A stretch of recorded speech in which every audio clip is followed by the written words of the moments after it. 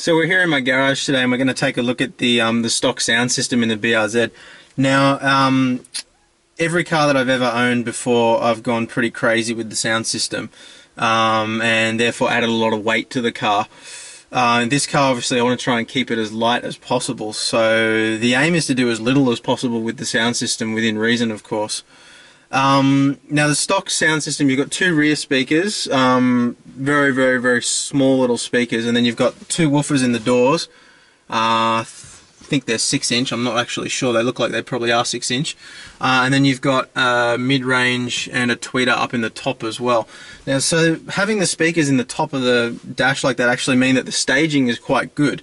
Um, the sound's not too directional, and um, one thing that I did notice straight away out of um, out of this car compared to driving the um, my old WRX was that the um, the bass isn't directional like it was in my WRX with the big sound system in it. Um, having the big subwoofers in the back, um, I always had trouble trying to balance the sound well and having um, having it so that the cutoff frequency wasn't too high so that the bass became directional.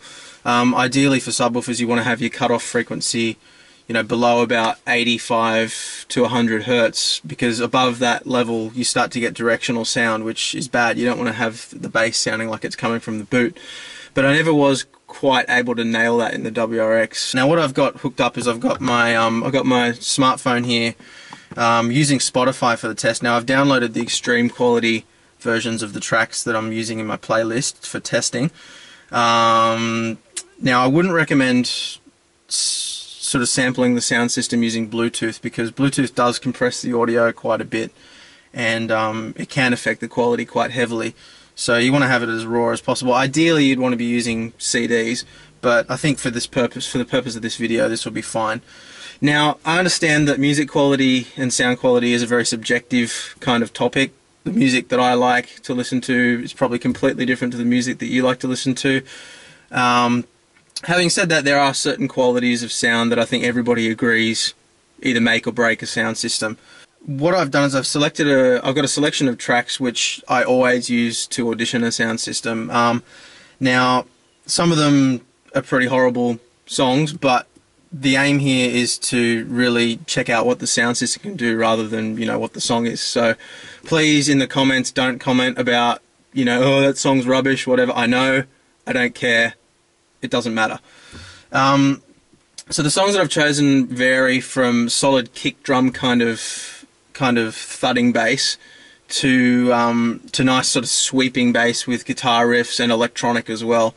Um, one area that I anticipate this car is going to struggle with is those kind of sweeping bass lines where you're going from quite low frequency to higher frequency bass. Um, what I'm interested in hearing is the transitions. So I want the sound pressure level to be relatively stable from low frequency bass right up to the high frequency bass. Now, the human ear isn't completely linear in its in its frequency response, so the deeper the bass is, the quieter it often gets, which is why you need a more powerful sound system to get those to get those heavy bass beats.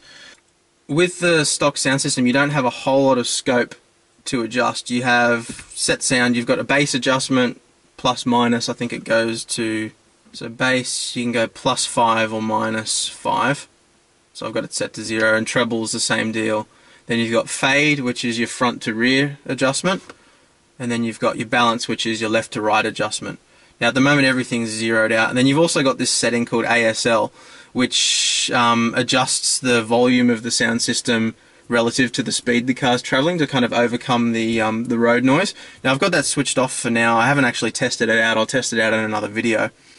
But um, having everything zeroed should be a good starting point. So let's jump in and we'll start the first track, which is um, Billie Jean by Michael Jackson.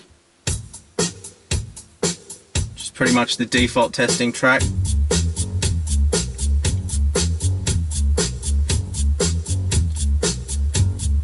So straight away I can hear that the um, and I'm I'm listening at a relatively moderate volume. I don't want to overpower the system at this stage, so we're looking for quality, not volume. Um, what I can hear is that the um, the bass is quite linear throughout the frequency range of the ba- of the walking bass line in this song, but it is quite wallowy. It lacks the, the kick drum is lacking the punch, which of course you would expect, I suppose. But um, what I do like is that the bass isn't directional at all, and the staging, like I said, is really good. I feel like I'm in the sound rather than listening to it from a distance. So let's see what happens when we make a few adjustments. So we'll start by boosting the bass a little bit.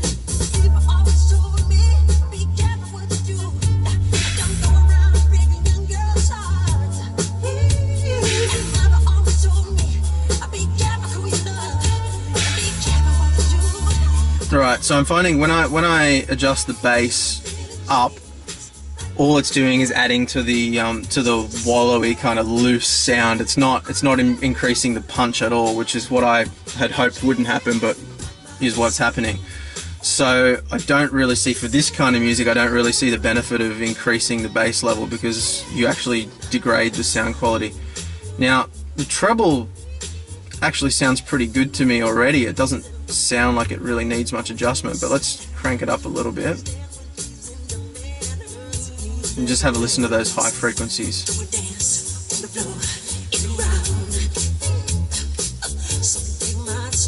So it is, it's quite sharp, it's quite good.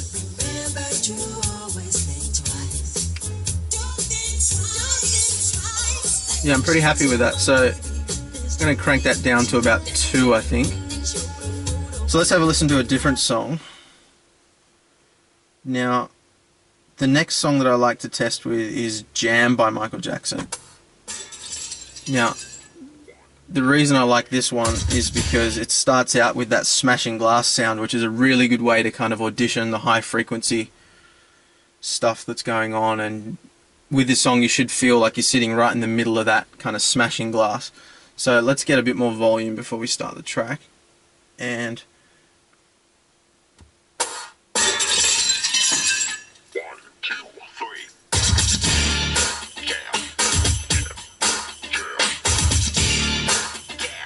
Now with this song, there is a very, very, very solid kind of bass beat that's going on behind it the whole time. Now, the EQ that sounded good with Billie Jean definitely isn't sounding so good with this straight away. The um, the kick drum really doesn't cut through at all. So let's jump back to the bass adjustment again and crank it up a little bit and get it playing again.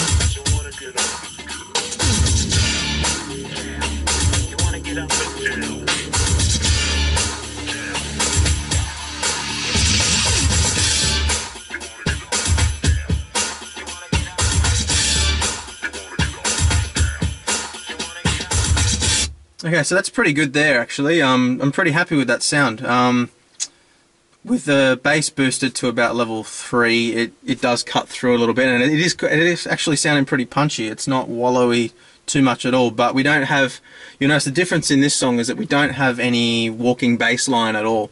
There's no there's no bass guitar at all at this stage, and um, so all we've got is the kick drum. So we can we can safely crank up the bass without um, without worrying about that wallowy kind of sound. So let's jump into another track. Something. Um, all right. Well, while we're talking about wallowy bass, this is the song that I always found killed pretty much every sound system that you thought sounded good until this point. Um, so it's "You Make Me Wanna" by Usher. Now this one's got that kind of electronic, really wallowy bass going on with a nice sweeping bass line throughout it. So let's have a listen.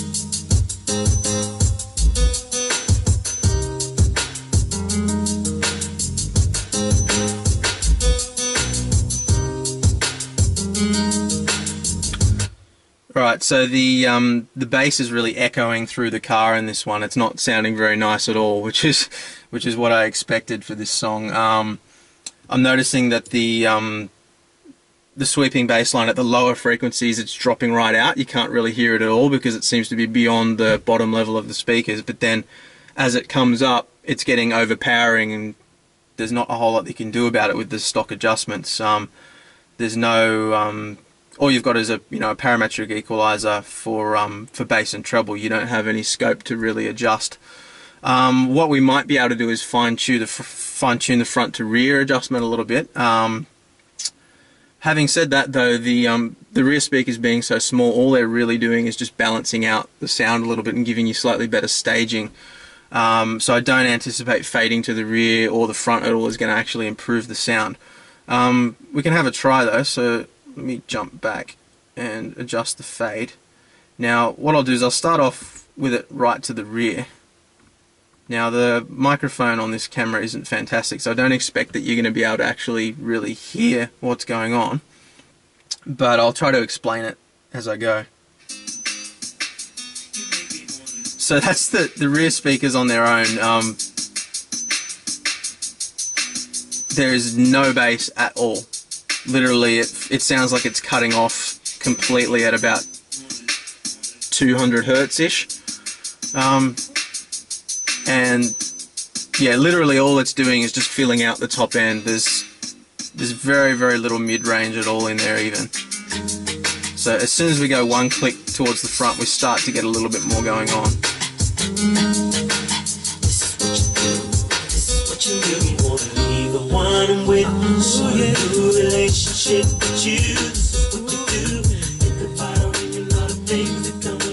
Now, with it faded all the way to the front, I do notice the loss of the top end. So the rear speakers definitely do make a difference. The good thing, the good thing is that when you crank the volume, it doesn't overpower the rear speakers. So obviously they've been smart with their crossover. Um, it's not um, it's not choking those rear speakers. Now a lot a lot of customized systems when you've got say four inch speakers in the rear and six inch in the front with different wattage ratings. Um, if you've got the if you've got the fade set to zero, you'll find that the rear speakers start distorting before you've reached the limit of the front speakers. That's not happening here which is a good thing. So um, it is well balanced. If I crank the volume up though, like it, re it really is lacking that that punchiness. So, but it's not it's not too bad. Um, one thing that I'm happy about is there's no there's no nasty vibrations going on in the doors. Really, um, it is echoing and vibrating a little bit, but it's not rattling. So that's a good thing. Now we're going to go for something completely different.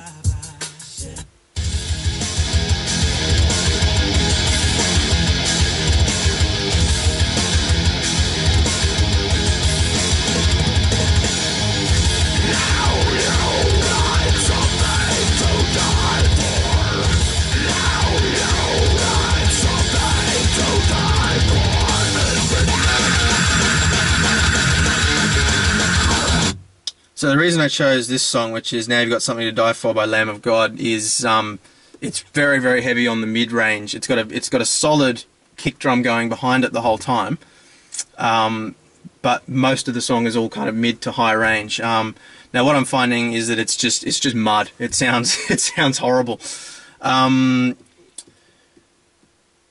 the good aspect of it is because because you've got the nice split between your um your low end speakers in the doors and your high end speakers in the in the dash is that when the kick drum goes it's not distorting out and muddying out the rest of the sound. But in saying that the mid range just isn't tight really at all. Um, I can try adjusting the sound a little bit.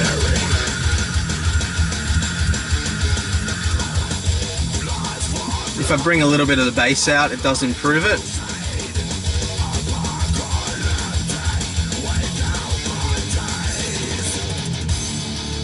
but yeah, it's not a it's not a pleasant listening experience at all. Um, so we'll try one more, which is Morning Bird by Sade. Now, the reason I like this song is it's got a lot of kind of ambient kind of sounds going on throughout it, a lot of harmonics and a lot of um, a lot of reverby kind of stuff. Now, on a bad sound system, a lot of that detail is completely lost. Um, a lot of people find with this song that they, you know, if you listen with good quality headphones, you notice all this stuff that you never knew was there before. So, let's have a listen to this piano. So the detail there is pretty good. Just cranking up the treble back to 3 again, or actually to 2.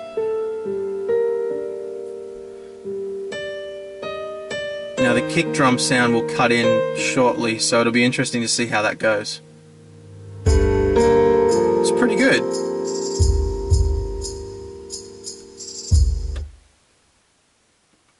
And the um, cutoff just came off. Sorry about that. I'll switch it back on again.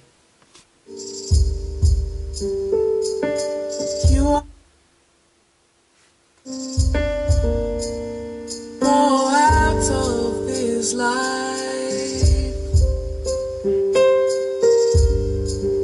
Actually, that actually sounds really good. How could you? You are the morning. Again, I think it's the it's the staging that really is making it. Um, if you were to rely on the speakers alone, if all the speakers were in the doors, I think this probably wouldn't sound too good at all. It'd sound very echoey, but um, having that staging going on, it really does project the, the top end sounds, and they, they really cut through over the um, over the lower range stuff.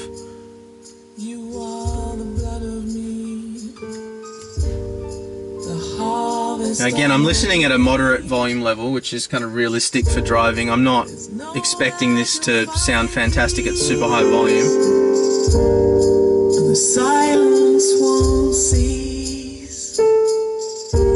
Surprisingly, it doesn't sound too bad when you do crank it up.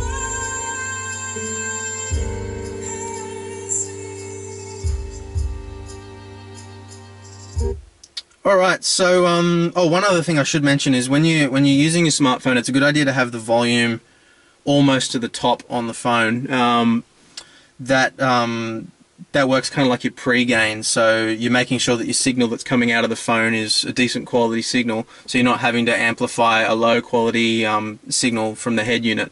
So you want to have the volume as high as you can on the phone without it distorting, and then um, fine tune it with the head unit. Um, so the overall impression of the sound system is it's pretty good. Um, I will be replacing the head unit simply because you know I'm not happy with the feature set on the stock one. But um, that said, the the sound quality is not too bad. It definitely it definitely handles the kind of you know ambient, airy fairy kind of music a lot better than it does the heavy style, and um, it does better with rock kind of music than it does with um, with R and B style. It, where where it really falls over is that sweeping bass kind of stuff, um, where it just it just wallows and echoes and it's not a good listening experience at all. But in the in the ambient kind of stuff and the rock kind of stuff, it's it's pretty good. So um, I think if I were to be changing the sound system, I'd probably start with the um, with the woofers in the doors and improve the quality of those. I definitely would probably do some sound deadening in the doors as well, which unfortunately would add some weight. Um, but you could probably get away with just something like a dinosaur behind the um, speaker itself to project the sound out a little bit better. Um, so I think what I'm going to do is I'm going to replace the head unit and then see if that extra fine tuning adjustment that I can get with the new head unit makes the difference. Um, and then go from there. So, um, so I hope this video has been useful to you if you're um, thinking of purchasing a BRZ or an 86 or already have one. Um, hopefully it's given you a bit of insight into what is possible with the sound system and what to look for. And um, yes, make sure you like and subscribe and um, if you found this useful and we'll see you next time. Thanks a lot.